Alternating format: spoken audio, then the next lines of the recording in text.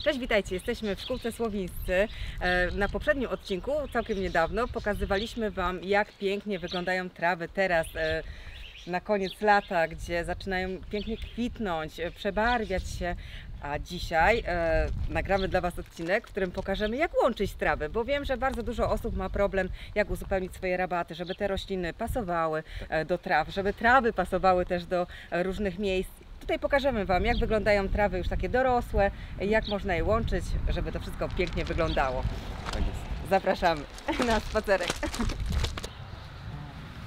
nietypowe y, odmiany. Tu Tutaj mamy tą e, ga- ga- Gaurę. ga- gaurę, Mhm. którą podziwiacie u mnie na rabacie. Ona przepięknie wygląda. Cały czas kwitnie, od samego wczesnego lata po samą jesień. Dokładnie. I jest fajna, luźna, taka idealna do połączeń z luźnymi trawami, na przykład Ale ja też ją mam e, właśnie z tą roztrawnicą połączoną, tak. Identycznie. No właśnie to jest ten y, duży plus, że luźne z luźnym można bardzo łatwo łączyć.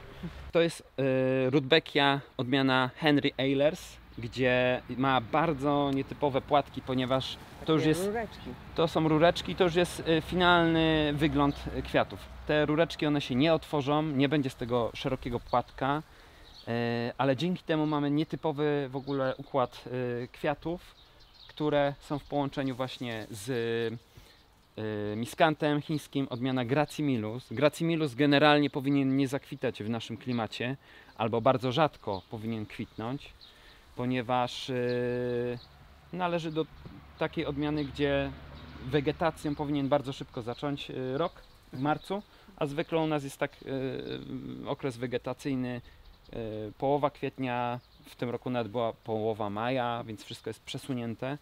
Więc y, oryginalna odmiana Gracimilusa nie powinna, bo to jest, nie powinna kwitnąć, bo to jest bardzo często pytanie wśród osób, które posiadają tą trawę.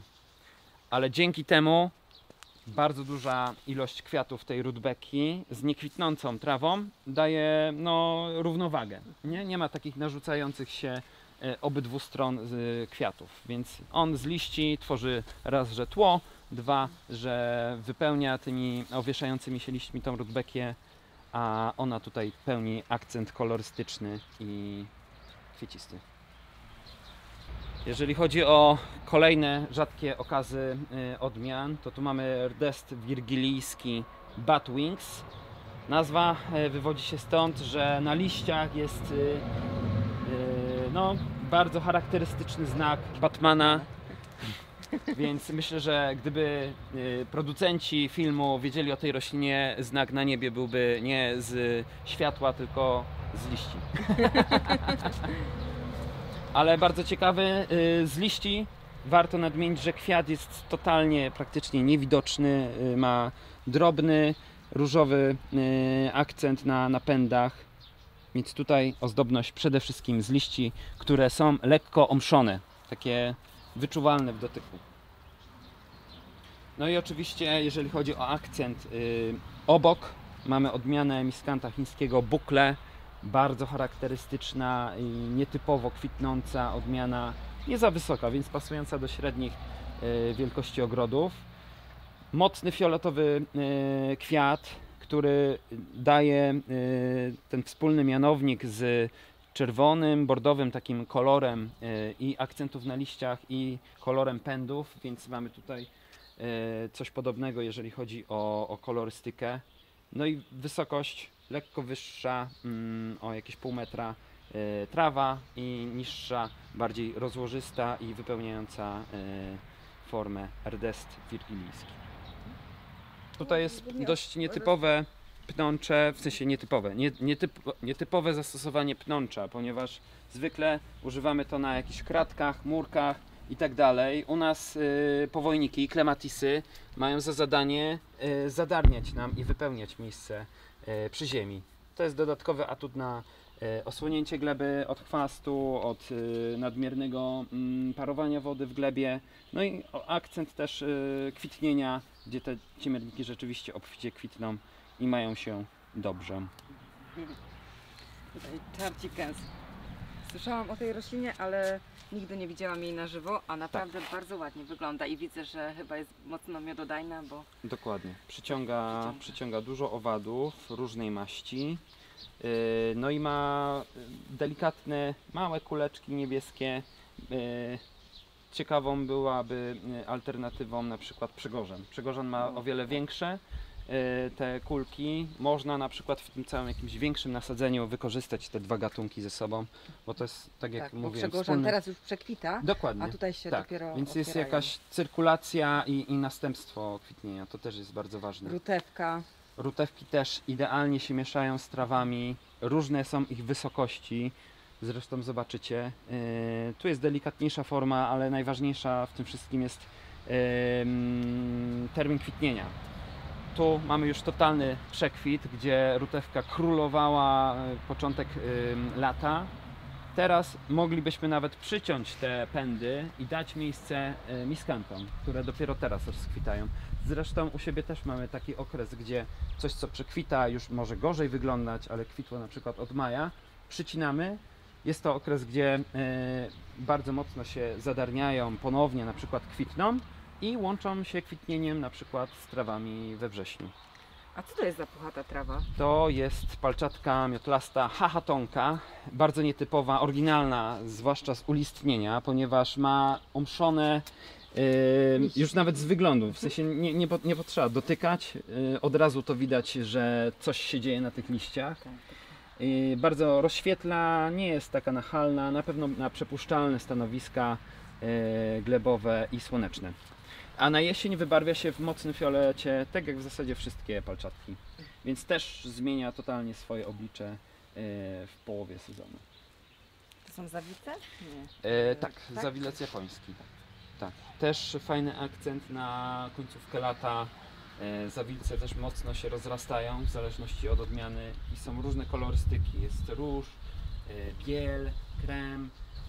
Różne są też środki e, kwiatowych. Także jest duża możliwość e, zestawień kolorystycznych. Mamy tutaj astry, popularne marcinki, które mają tą e, fajną cechę w połączeniu z trawami, że zaczynają nawet później kwitnąć niż e, większość traw, co powoduje, że ich mocne kolorystyki kwiatów później przyciągają uwagę, gdy miskanty na przykład już wejdą w puszystość, okazałość tych kwiatów, a już ich ta kolorystyka będzie inna, mniejsza. Więc udział tego koloru przechodzi na marcinki. Obok, jeżeli chodzi o kolorystykę, jest y, bardzo nietypowa bylina, a raczej odmiana, bo to jest flok zwiechowaty, babciny kwiat, tylko w zupełnie innym wydaniu. I to już są e, rozwinięte kwiaty. Wydawałoby się, że to jest wszystko w pączkach dopiero, ale to już jest e, cała forma wytworzona, gdzie ma bardzo nietypowe ubarwienie e, kwiatów i nazywa się Blind Lion, czyli ślepy lew. Tu mamy zio zioła i kocimiętkę. Tak? Generalnie to są kocimiętki, różne odmiany i kocimiętki były u nas mocno cięte w okresie lipca, gdy już wchodziły totalnie w fazę przekwitania. Teraz w zasadzie widać, że wytwarzają ponownie kwiaty, więc można zaliczyć je do powtarzających kwitnienie. My przycięliśmy je y, dwie trzecie rośliny całej. Pierwsze kilka tygodni może być goło, ponieważ widać y, podstawę rośliny, suche, ścięte pędy. Natomiast teraz wygląda na nowo, y, tak naprawdę jakby zakwitała na, na maj, czerwiec. Tu jest świetny przykład tego, jak wykorzystywać, a raczej nie wykorzystywać rozchodniki okazałe. Do momentu czerwca, lipca wszystko jest y, idealnie, w sensie zachowana kępa ym, i ta forma. Teraz, gdy zakwitła y, ta roślina, zaczyna się wylegiwać na ciężkiej, gliniastej ziemi, ponieważ taką mamy u siebie. I to jest efekt właśnie wylegiwania się. I też ma tutaj dużo cienia jednak mimo wszystko. I Chociaż mamy jeszcze jedną odmianę, y, bardzo, bardziej mniejszą, ym, zwartą, gdzie ma takie same warunki i wilgotnościowe, i, ym, i cieniste, i jest wyprostowana, póki co przynajmniej. Ale wydaje mi się, że na jesień też będzie miała problemy i może się Żeby wracać. przyjechać, podziwiać rutewki, to byśmy musieli to nagrać z półtora miesiąca temu. No Ja myślę, że warto by było przyjechać co miesiąc. Bo cały czas coś, coś y, innego zakwita albo przekwita. Tu już jest bardzo okazała rutewka, która dorasta do 2 metrów, 2,20, 2,30 i to jest rutewka Elin, dokładnie, odmiana. Okazałe liście, ogólnie kępa i świetnie nadaje się do połączeń z dużymi trawami, ponieważ formą, wysokością nie odbiega od tych y, no, mm, wysokich traw. Tak. I tak jak jeszcze miskanty nie były na pewno e, tak pięknie kwitnące, to rutewka tutaj robiła Tak, tą całą robotę. robotę. I miskanty nie były też takie duże, nie? W momencie, gdy rutewka zakwitała, to miskanty były o spokojnie pół metra niżej, czyli góra pięknie e, rozkwitała. Cała chmurka tam sobie. Tak. Tutaj mamy bardzo fajną odmianę słoneczników. Tak, to jest słonecznik wierzbolistny, nietypowy. Jeżeli chodzi o wielkość bylin, do których jesteśmy przyzwyczajeni, no to jest to jakieś 50 cm, metr, to już jest super. Tak, To jest to. A tu mamy e, właśnie prezentację e, rośliny, byliny, która dorasta do wysokości miskantów olbrzymich, czyli coś, e, co jest w stanie urosnąć w ciągu jednego roku, bo to jest ścinane do zera. Robi niesamowi- niesamowite wrażenie i teraz słonecznik wierzbolistny, dokładnie tak to się nazywa, zaczyna rozkwitać i jest niesamowitym kompanem do wielkich, masywnych traw, ponieważ tak samo masywnie wygląda. Dół mamy z kolei zrobiony z jeżówek różnych odmian i tu jest szczególna odmiana, która bardzo długo utrzymuje świeżość płatków, to znaczy krzykliwe, czerwone kolory, fioletowe i tak dalej. One po jakimś czasie tracą swoje nasycenie e, kolorystyczne, a z racji, że mamy tutaj dość ym, pastelowy kolor tych płatków, on długo się utrzymuje i nawet potrafi kwitnąć do listopada. W ogóle jest bardzo mało kwiatów e, o takim wybarwieniu. Tak, i ona też podbija jasnością Tak. nasadzenie, więc Podobne, ale mniej zdobna e, jest też cynia w tej, tej Mhm. samej odmianie. tak jest. Werbena patagońska oczywiście. Werbena też bardzo popularna, u nas y, na szeroką skalę wykorzystywana jako ozdoba y, i werbenę trzeba pamiętać, że mm, wysiewa się i jeżeli ma y, bardzo mocne y, gliniaste podłoże, może wygnić na, przez zimę. Więc musi mieć bardziej takie stanowisko, tak jak ym, stipa, ostnica ponytails, to są te podobne warunki, w których ona rośnie i zimuje. Tutaj mamy formę, która e, po części przekwitła, tak jak floksy wiechowate, po części rozkwita, ale również jest ozdobna z liści, tak jak funkia, mm, gdzie są właśnie włożone trzy ceramiczne ozdoby małpki i w takiej formie łatwo je można też powiązać e, z no, nieroślinami. Rudbekie w ogóle fajnie rozświetlają e, rabaty, są takie Tak, bardzo krzykliwe. Krzykliwe. Zresztą dalej będzie bardzo mocne, mocne, duże nasadzenie tej rozbeki, które w ogóle podbija Szałwie omszone, kocimiętki, Tak. rudbekie, jeżówki, kłosowce, kłosowce. E, jak się nazywają te? mm, liatry, Liatry. Tak, one wszystkie kwitną bardzo, dosyć wcześnie Tak. i tak jak rudbekia bardzo długo, a poza tym na zimę zostawiona Czarne przepięknie główki. wygląda. Czarne główki i tłem dla tych czarnych główek jest proso rózgowate, która zmienia się na pomarańczowo-żółty kolor na późną jesień i do czerni tych główek jest świetnym tłem. Na ten moment z y, rdestem himalajskim świetnie gra czerwień, żółć, a całym takim wypełniaczem jest sporobolus heterolepsis, który swoimi kwiatami y, wydziela zapach delikatny. To też bardzo nietypowa rzecz dla traw. Dokładnie pachnie tak. trochę. bardzo y, niejednoznacznie, nie? Mhm. Gaura. Gaura, która jest chmurą kwiatów, dobrze w połączeniu właśnie z żywymi y, odcieniami. To jest rozplenica miniaturowa y, Hamelngold. Są groszki pachnące? Dokładnie. Tak. Czyli element niezimujący, ale szybko rozrastający się i, i obficie kwitnący. A tu nie wiem, czy zauważyliście, że tutaj mamy bardzo duży hotel dla owadów. Tak, można powiedzieć, że już jest osiedle. Tak. W jego obrębie używamy roślin miododajnych, z których e, korzystają owady. Cały pas e, astrów to jest też powtarzający się u nas schemat, ponieważ to jest właśnie na bardzo późną jesień, gdzie e, jest mnogość kolorów i nasycenia połączony z już w pełni wybarwiającymi się trawami na jesień.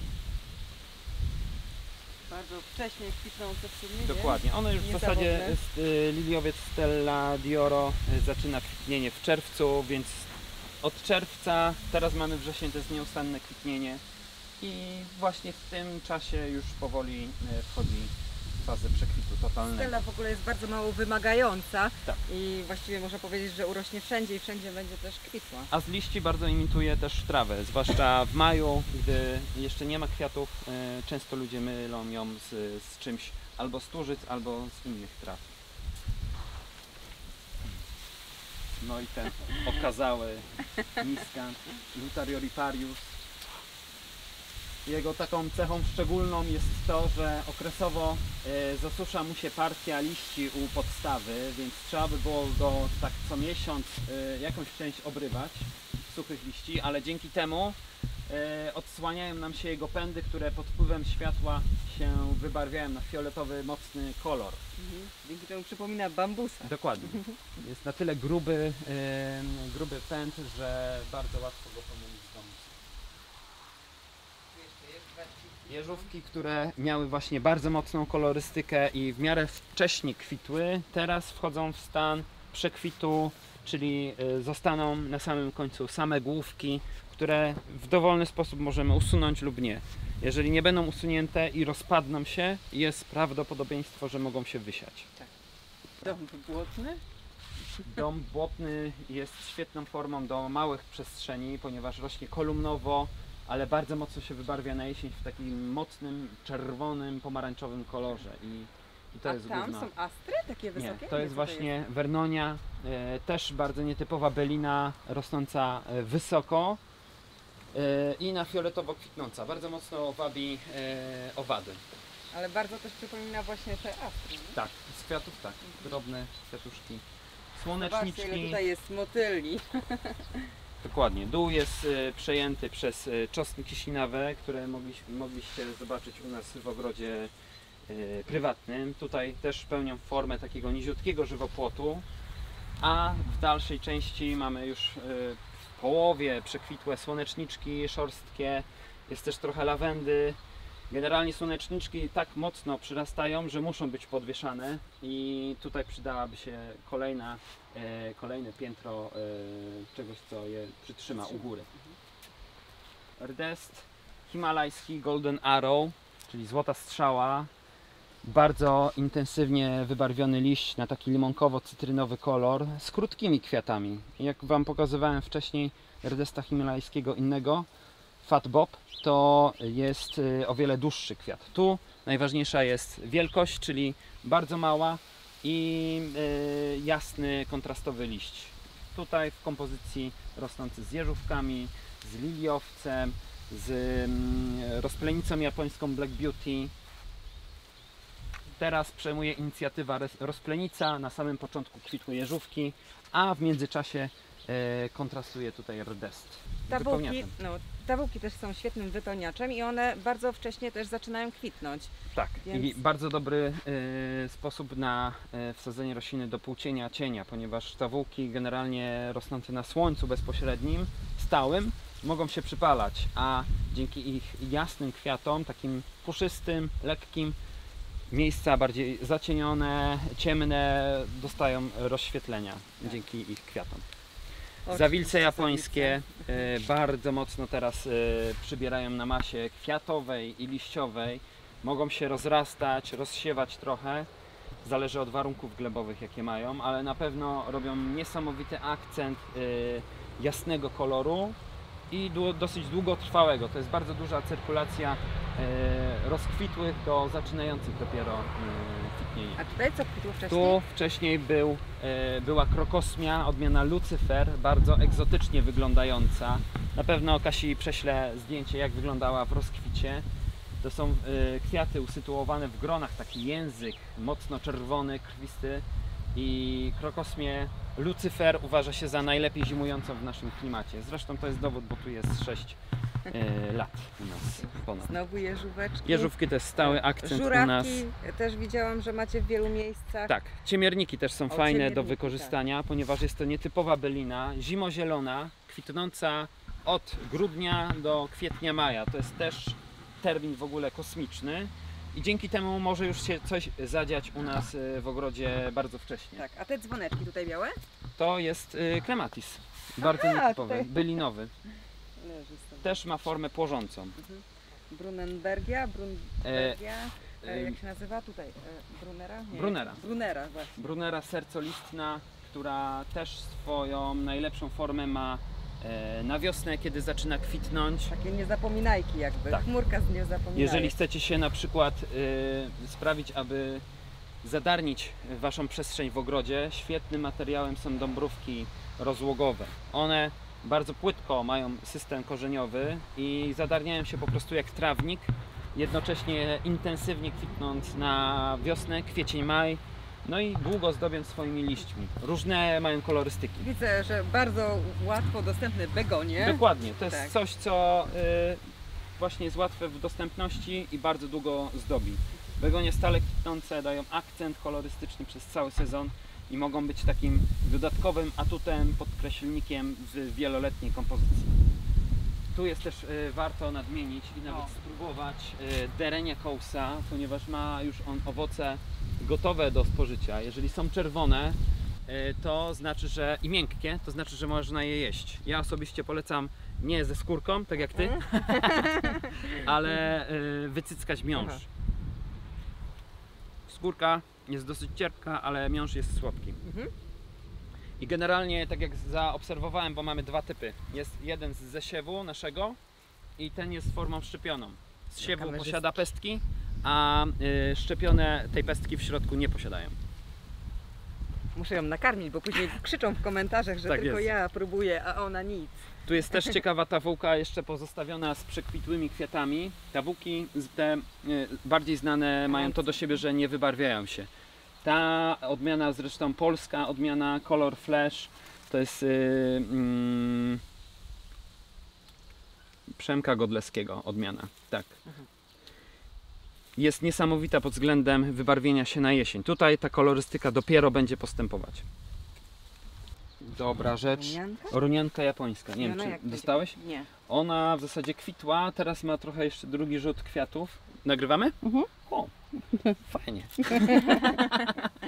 Runianka japońska jest y, byliną, która ma tendencję do zadarniania. Jest lekko ekspansywna, rozrasta się, ale również Ale płytko. jest bardzo gęsta. Jest bardzo gęsta i zimozielona, kwitnie dwa razy do roku. Pierwszy, yy, pierwsze kwitnienie przypada na wiosnę, kwiecień, maj, bardzo intensywne. Jest to roślina miododajna, która też pomaga, zwłaszcza wiosną, pomaga właśnie owadom w yy, pozyskiwaniu Ale pożywienia. po kwitnieniu pierwszym ją przycinaliście? Nie, nic z nim nie robimy w ogóle. I to jest właśnie jej ogromny atut i nasadzona w miejscach na przykład pod iglastymi roślinami, liściastymi, gdzie coś zlatuje w ciągu sezonu na nie, te liście e, czy igły gubią, e, wchodzą w środek kępy, tam zmieniają się w próchnicę, jest to dodatkowa e, pożywka dla tych roślin i jest to roślina po prostu estetyczna, która e, załatwia nam trochę e, wyczesywanie, wyjmowanie I widać, że bezobsługowa, bo Dokładnie. wygląda naprawdę świetnie. i mimo swojej ekspansywności, tutaj jest lekki, lekkie wzgórze. Kiedyś rósł tu karmnik, ale jest za bardzo cieniście i, i cały wymarł. Tu właśnie z racji, że jest półcieniste miejsce yy, i cieniste, runianka super się sprawuje i nie wychodzi dalej niż obręb tej górki. Także ta ekspansywność naprawdę jest znikoma. Tu jest też bardzo nietypowa roślina. To jest aralia kalifornijska, która y, rośnie w zasadzie od zera co roku. Aha. Przycinamy ją. bardzo nisko. Nie widziałem na innej roślinie tak dużego spektrum owadów. Tutaj są mchówki, muszki, pojawiają się motyle, ale przede wszystkim pszczoły, osy. I to na, nam daje po prostu dobry argument do tego, że jest to roślina niezwykle pożyteczna i długo kwitnąca, bo ona tak kwitnie już od końca czerwca. Teraz już jest w fazie totalnego przekwitu i wybarwienia się pędów, więc dla nas, jeżeli chodzi o aspekt ozdobny, jest teraz, bez owadów już, bo wszystko przekwitło, a okres lata jest świetnym materiałem na to, aby wspomagać owady i dzielić się swoim, swoimi roślinami. E, co my tu jeszcze możemy? Tu mamy bardzo nietypowy, przycięty żywopłot. To jest metasekwoja chińska, która pomimo, że jest rośliną iglastą, oblatuje co roku e, swoimi liśćmi. E, A pod spodem możemy zastosować wszystkie rośliny, które mogą rosnąć w całkowitym cieniu. Tu są paprocie bardzo nietypowe, funkie, hakonechloa, którą już wspominałem. Rośnie zarówno ta, która może rosnąć na słońcu, jak i te e, o żółtych liściach, które wymagają właśnie cienistego, cienistego miejsca. Także spektrum e, tych roślin jest e, dosyć szerokie. Można wykorzystywać również trze, te. Wyleciało mi pomóc. Tużyce. O, można też wykorzystywać tużyce, które dodatkowo są zimozielone. Piergeszoma dłoniasta. Black Style się nazywa. Tu już trzmiel do niej wchodzi, więc pewnie miododajna. Ładnie wygląda. Nie, źle powiedziałem. Kieren... Kierengeszoma. Kierengeszoma. Kto nazywa? To roślinnik to nie.